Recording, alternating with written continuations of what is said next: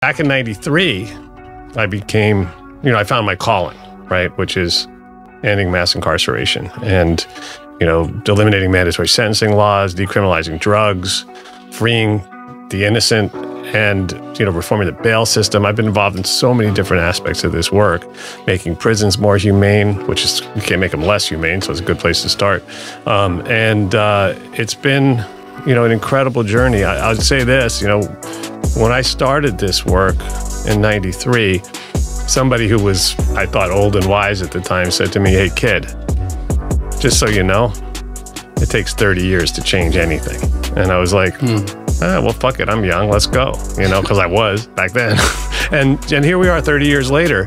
We still have, as we're sitting here now, over 2 million people locked in a cell like you used to be. Right. Steel, concrete, I mean, just hardship of every imaginable kind, deprived of everything that a human soul needs. But by and large, the prison experience in America is as draconian as it can possibly be. And that doesn't benefit anybody. It doesn't benefit free society. It doesn't benefit the people on the inside. It doesn't benefit the guards. It doesn't benefit anybody.